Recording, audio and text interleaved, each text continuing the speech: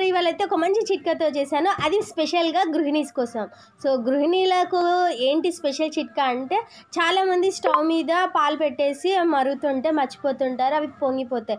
So అలా కాకుండా మీరు మర్చిపోయినా కూడా పాలు పొంగకుండా ఒకే ఒక చిట్కా ఉంది. ఏంటంటే మనం పాలు స్టవ్ మీద పెట్టినప్పుడు మన గిన్నె ఉంటుంది కదా బౌల్ అంచు అంచులతో పాటు మనం నెయ్యి కానీ నూనె కానీ లైట్గా అప్లై చేసామంటే అది అక్కడికి ఆగిపోతుంది.